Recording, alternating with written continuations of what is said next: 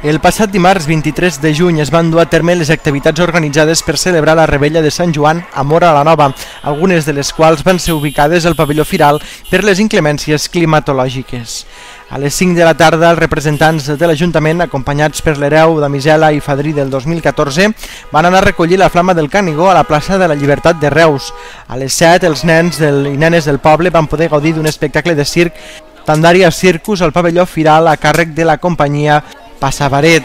Posteriorment, a les 8 de la tarda, va arribar la flama del Canigó a Mora la Nova. L'Hereu va fer el traspàs de la flama als atletes de cross de l'Institut Escola 3 d'abril, que van fer un relleu en grup pel carrer Major fins a la plaça de l'Església. Allà es va fer la lectura del manifest i es va repartir la flama als pobles veïns que aquest any que aquest any van ser Garcia, Ginestà, Mora d'Ebre, Miravet i la Fatarella. Tot seguit es van donar els premis del concurs de fogueres i concurs de fotografia finalitzant l'acte amb un berenar popular de coca i mistela per a tothom. El sopar de Germano i la rebella de la nit es van haver de suspendre a causa de la intensa pluja que va caure. Hola, hola, sí, sí. Bona tarda, xiquets, xiquetes, pares, mares, iaios, iaies i convilatants dels pobles veïns que heu vingut avui a visitar-nos per recollir la flama del Canigó. La flama ja la tenim aquí. Hem sortit a les 5 de la tarda davant de l'Ajuntament i hem anat tots en pinya fins a Reus a buscar-la. Com haureu vist, aquest any han estat els nens i les nenes del grup de cross del nostre Institut Escola els encarregats de portar-nos la flama. En relleu, des del pas a nivell fins aquí la plaça, donant així més significat al sentit de col·lectivitat que representa la flama del Canigó.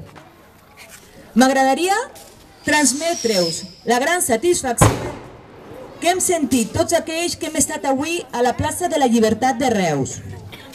En nom del nostre poble, gaudint d'un ambient lúdic i festiu, amb una expressió màxima de la nostra cultura catalana, amb sardanes, amb la cobla de Reus, no us ho podeu imaginar.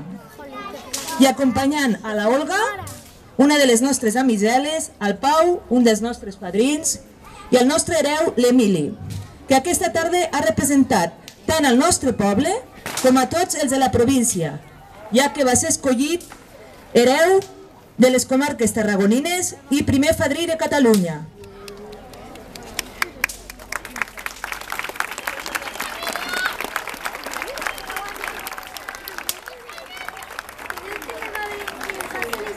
Voldria excusar a la pubilla de Misela i fadrins absents que per motius laborals no poden estar avui entre nosaltres. Aquests tres joves de la nostra vila han estat els majors protagonistes. És per això que he cregut convenient que fossin ells també avui els encarregats de fer-nos la lectura del manifest de Sant Joan. Així que, sense més preàmbuls, passarem a la lectura del manifest. Va ser nombrat fadrí de tot Catalunya. Ja. Ja, ja sé. Sigueu molt benvinguda, Flama del Canigó, que com cada any sou esperada amb il·lusió per moltes persones, ja siguin grans, joves, xiquets, alots, mainada, tots desitjosos de compartir la vesprada i la nit, que s'il·luminarà amb l'encesa del foc de Sant Joan.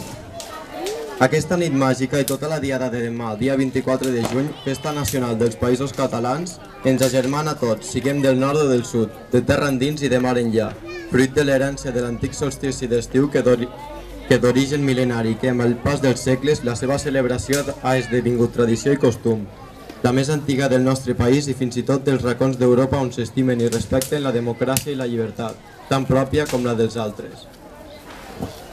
Enguany s'escau el 50è aniversari del salt, pensant la ignominiosa frontera, portant la, flara, la flama per damunt d'aquest límit imposat per l'absolutisme imperial d'ahir, i d'avui encara, per que trenca i divideix encara per una serralada, com és la Pirineica, que vertebra a banda i banda uns pobles que formen part d'un mateix país i d'una mateixa nació. Els nostres focs de Sant Joan i la flama que els encenen Baixada del cim del Canigó ja formen part del nostre costumari popular, així com de la nostra història col·lectiva, que tantes lliçons ens ha deixat des dels inicis, des dels seus inicis, fins a l'actual albada de la sobirania plena. Recordem tan sols que l'expressió popular... Um, perdó. Recordem tan sols que en períodes on els desitjos del poble foren reprimits a sant i foc pel real derecho de conquista, l'expressió popular donava als focs de Sant Joan un sentit de resistència que quedava palès en aquest senzill clam de fa tres segles. Caramelles van darrere, les de 1.700 gitans, fadrinets que les dictaven, ja mai més les cantaran. Mal ponent ve de Castella, si de França la mes lo mestral. Los usatges de la terra ja s'esfullen riu avall. No canteu pas més corrandes, ni feu focs per Sant Joan, feu cremar-ne cera groga com si els sols pels funerals. Tot poble té arrels fondes i la llavor de bona sembra mai fineix.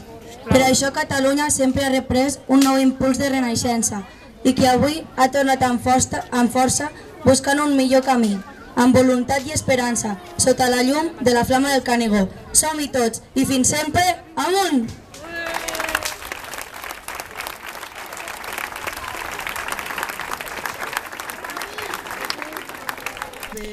Roger Font, Rivera Ebre, Televisió, Mora la Nova. Procedirem a cridar a tots